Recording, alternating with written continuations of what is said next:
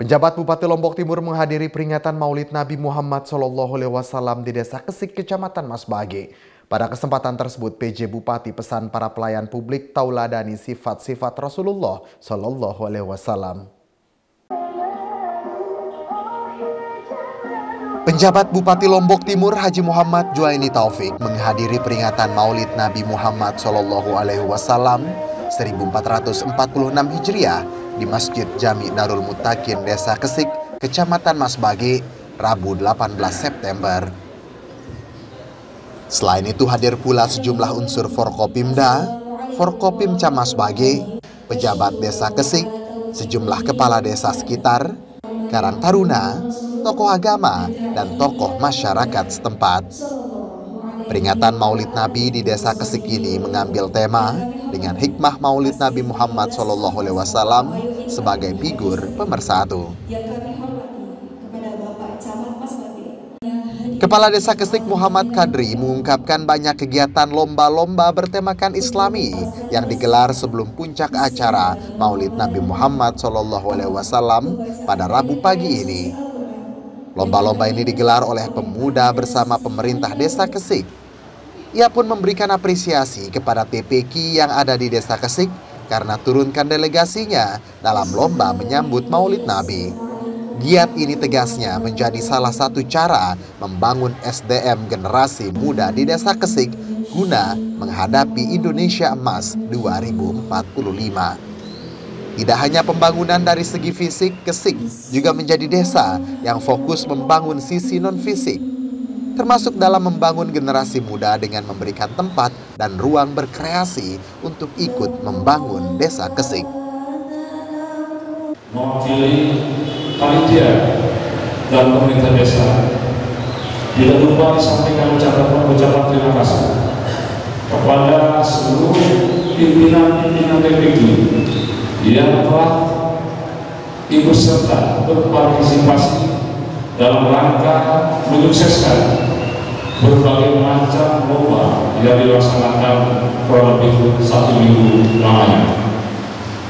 Sehingga kami sangat berharap mudahan di momen-momen seperti itu terus kita dapat laksanakan, terus dapat kita tingkatkan untuk mengasah mental kebiasaan dan mental juara daripada anak-anak kita Pejabat Bupati Lombok Timur dalam sambutannya menyampaikan jika TMMD yang dilaksanakan di Desa Kesik memberikan banyak manfaat bagi masyarakat.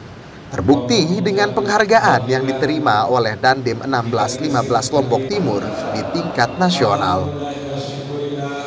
Hal ini pun menegaskan bahwa tugas pemerintah TNI dan Polri sebagai pelayan masyarakat adalah mampu mewujudkan hal-hal yang sebelumnya sulit didapatkan masyarakat menjadi mudah.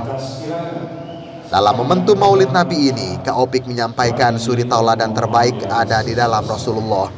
Sebagai pelayan publik, pelajaran yang bisa dipetik dari hidup Rasulullah adalah sabar, komunikatif, dan rendah hati. Hal ini harus bisa diterapkan pelayan publik dalam menunaikan harapan masyarakat. dan ini masih relevan dengan kita sebagai pelayan publik. Rasulullah itu sangat sabar, penyapa, hamba Allah yang paling penyapa. Ya Rasulullah Nabi Muhammad Sallallahu Alaihi Wasallam. Sebagai pelayan publik, sebagai Pak Kades, pemerintah desa, hari ini memang penyapa sifat sabar ini betul-betul sangat dibutuhkan termasuk bagaimana kita orang tua harus sabar pada anak muda kita sabar ini kan sudah dicontohkan oleh Rasulullah kita sejak beliau baru lahir dalam perkembangan kedewasaan beliau bahkan saat sudah menjadi Rasul memang manusia yang paling sabar di muka bumi ini tentu adalah Nabi Muhammad Sallallahu Alaihi Wasallam karena itu Bapak Ibu, semua kita ini punya masalah, tetapi bisa jadi kita tidak tahu masalah orang lain. Tetapi sekali lagi penting dalam mengatasi masalah itu yang namanya komunikasi. Komunikasi ini harus terjadi antara kita sebagai pemimpin dengan yang kita pimpin. Tentu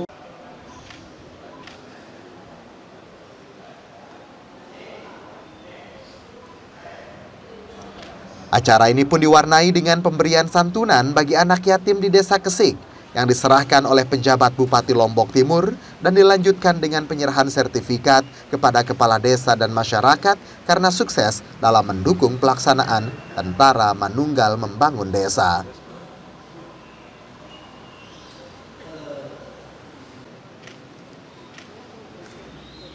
Suyut Saputra Bakti melaporkan.